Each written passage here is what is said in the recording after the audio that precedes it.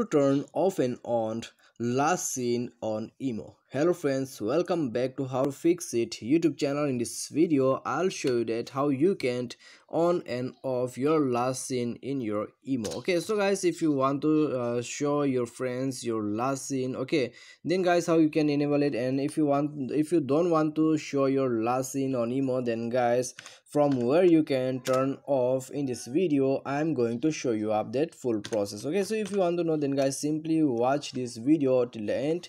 And guys before proceeding further make sure to subscribe our youtube channel and press the bell icon to get all the latest updates. And guys keep watching our videos and keep supporting us. Okay so let's start a video without wasting any more time so guys firstly okay if you want to turn off or if you want to turn on your last seen then guys uh, you need to open your uh, imo okay? And then guys you need to tap here on the three lines okay? Here uh, you can see on the bottom.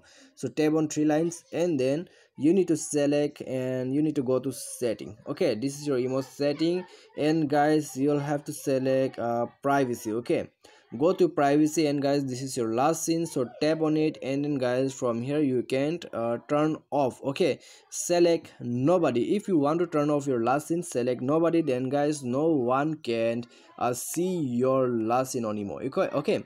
And then guys if you want to turn on then guys you can simply select my contacts or emo okay? So uh, as you can see okay? So from here you can easily turn off and from here you can easily turn on. Okay so this is how you can uh, turn off and on your last seen in your imo account. I hope you guys like the video and guys if this video helps you then guys don't forget to give a thumbs up. Thanks for watching